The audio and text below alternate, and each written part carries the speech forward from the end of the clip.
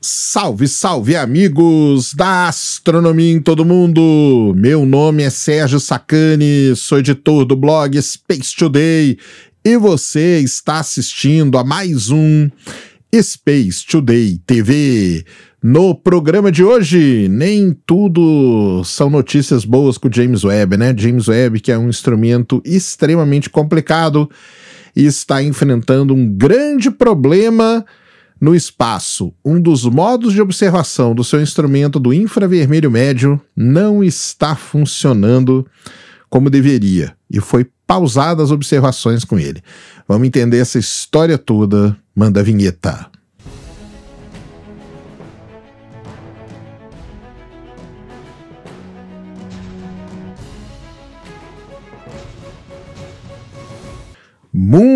Muito bem, pessoal, vídeo novo aqui no canal. Antes do vídeo começar, você já desce aí, já deixa o seu like, já se inscreve no canal para você não esquecer durante o vídeo e para ajudar na causa da divulgação científica no Brasil. Você está sabendo, né? Não vai ter lançamento mais do SLS dia 27.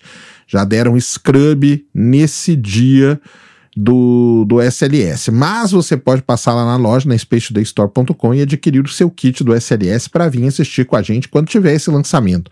Vamos esperar novas informações, mas segunda-feira temos aí o impacto da missão DART no asteroide de Morphos e vamos acompanhar ao vivo a partir das seis e meia da tarde, então conto com a presença de todos vocês aqui. Combinado? Vamos para o vídeo de hoje passar aqui nossos 10, 15 minutinhos batendo um papo sobre algo importante, interessante e relevante que acontece no nosso universo. Muito bem, né? Muitas notícias boas do James Webb. Só essa semana tivemos imagens espetaculares de Marte, de Netuno. Ele está observando Plutão agora. Acabei de ver aqui que ele já está observando Plutão de novo. Imagens de galáxias, as primeiras galáxias, as estrelas mais distantes, galáxias, colisão de galáxias, anãs marrons, ou seja, tudo aí que você vem acompanhando sobre James Webb. Mas nem tudo são notícias boas com o telescópio espacial James Webb. Isso mesmo. Por quê? Porque um dos seus instrumentos está apresentando problema em um dos modos de, opera de observação, né, ou de operação. O James Webb ele possui quatro instrumentos, então é a NIRCam, que é a câmera do infravermelho próximo, o MIRI, que é o instrumento do infravermelho médio. Aí ele tem dois espectrógrafos poderosos, né, o NIRS e o NIRSPEC. Cada instrumento desse não tem só uma maneira de ser utilizado. Existem modos de operação dele, modos que eles são usados ali para poder fazer as observações necessárias que os cientistas descrevem quando eles montam ali o projeto de observação. Se você somar tudo, são ali dão 17 modos de operação. Um desses instrumentos, que é o MIRI, que é um instrumento do infravermelho médio, que é aquele que trabalha extremamente frio, né, 7 graus acima do zero absoluto e tudo mais, ele tem, só esse instrumento, ele tem quatro modos de operação. Quatro modos de operação desse instrumento, que é o de imageamento, que é a espectroscopia de média resolução, a espectroscopia de baixa resolução e a coronografia. Bem, imageamento é fazer a imagem. Espectroscopia são aquelas de tirar o espectro. E a coronografia é aquela que ele tampa a luz da estrela. Aquela imagem que ele fez do exoplaneta orbitando uma estrela, imagem direta, ele fez usando o MIRI com esse instrumento chamado de coronógrafo. Muito bem. Entre esses instrumentos, o MRS, que é o Mid Resolution Spectroscopy, ou seja, um instrumento de espectroscopia de resolução média, apresentou aí um problema. Isso mesmo, apresentou um problema lá no dia 24 de agosto, quando os técnicos estavam preparando para fazer observação Usando então o modo de espectroscopia de média resolução do MIRI, a equipe detectou um problema com uma roda de grade ali. Ele tem. O James Webb, quando ele vai usar o filtro, ele tem uma roda de filtro que a gente chama. Mas não é essa roda de filtro que deu problema. Eu vou colocar a imagem aí do equipamento que deu o problema. Esse, esse, essa roda, ela tem a função basicamente de selecionar os comprimentos de onda curtos, médios e longo. Durante o processo de configuração, né, você configura o telescópio, você indica para ele quais serão ali os modos que você vai usar. Você tem que deixar tudo configurado, tudo certinho. Durante o processo de configuração, para fazer uma, uma observação científica, o telescópio detectou um aumento de atrito no mecanismo. Tipo, deu uma engripada no mecanismo. O que causou, então, o problema aí detectado pelos técnicos do James Webb. O problema é que deu essa engripada a 1,5 milhão de quilômetros da Terra. Não dá para ir lá alguém com WD-40 jogar ali para desengripar essa roda, tá? Muito bem. É, os técnicos fizeram uma verificação, eles viram que tá tudo bem com o resto do telescópio, nada foi afetado, nada, nada, nada, tá? É, no dia 6 de setembro, a NASA convocou um conselho para fazer revisões de anomalias e aí eles estão trabalhando agora para ver o que eles vão fazer.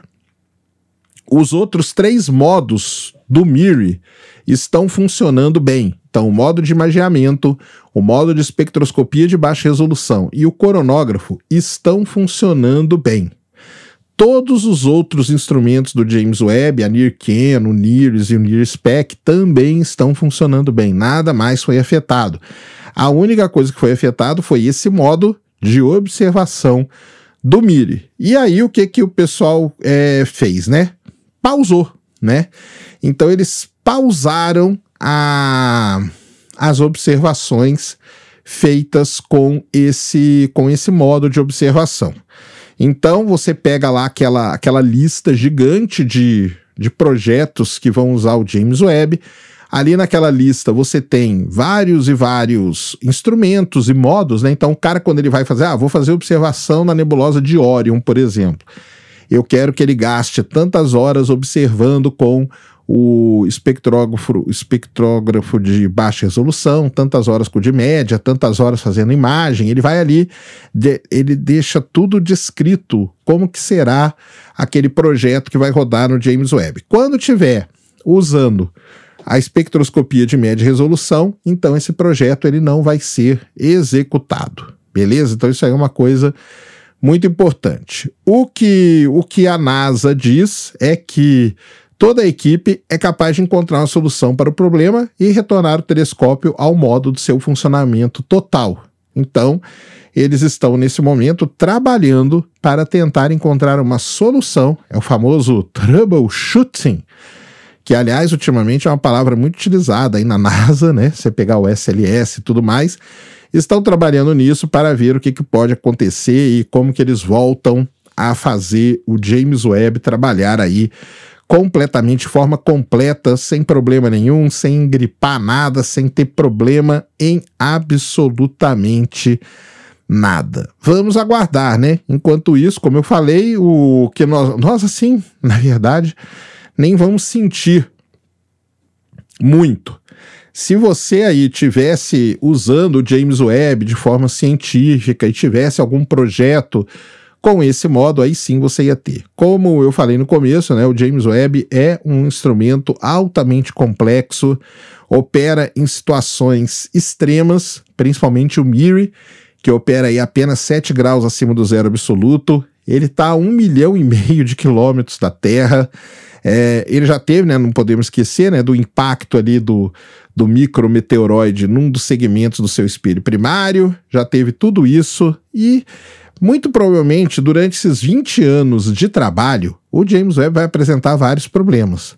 É normal isso acontecer, você vê aí o Hubble, quantos problemas ele já apresentou, quantos problemas foram resolvidos e tudo mais.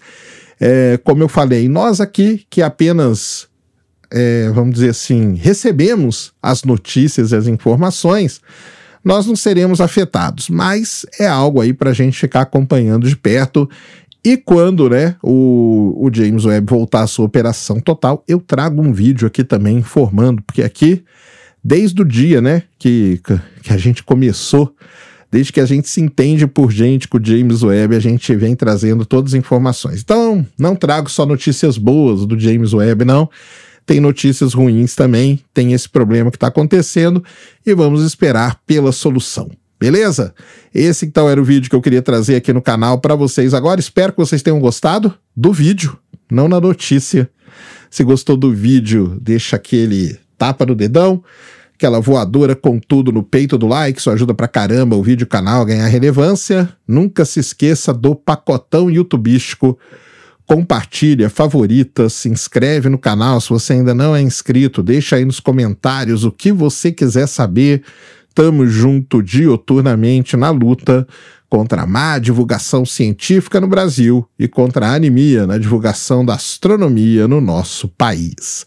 Mais uma vez, meu nome é Sérgio Sacani, sou editor do blog Space Today e você acabou de assistir a mais um Space Today TV. Fui!